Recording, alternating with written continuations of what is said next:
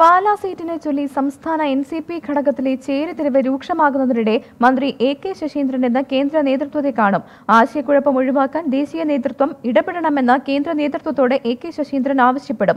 കേന്ദ്ര ഉപരിതല ഗതാഗത മന്ത്രി നിതിൻ ഗഡ്കരിയെ കാണാൻ ഇന്ന് ഡൽഹിയിലെത്തുന്ന മന്ത്രി ശേഷം മുംബൈയിലെത്തിയാകും ശരത് പവാറിനെ കാണുക. പ്രഫുൽ പട്ടേലുമായി ഡൽഹിയിൽ കൂടിക്കാഴ്ച നടത്തിയ ശേഷമാകും ശശീന്ദ്രൻ മുംബൈയിലേക്ക് പോകുന്നത്.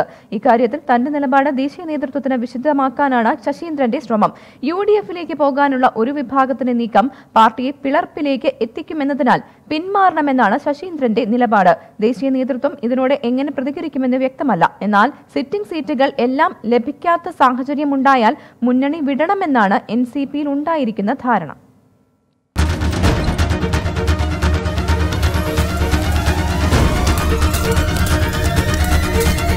Twenty four. രണ്ട് വർഷത്തിന്റെ നിറവിൽ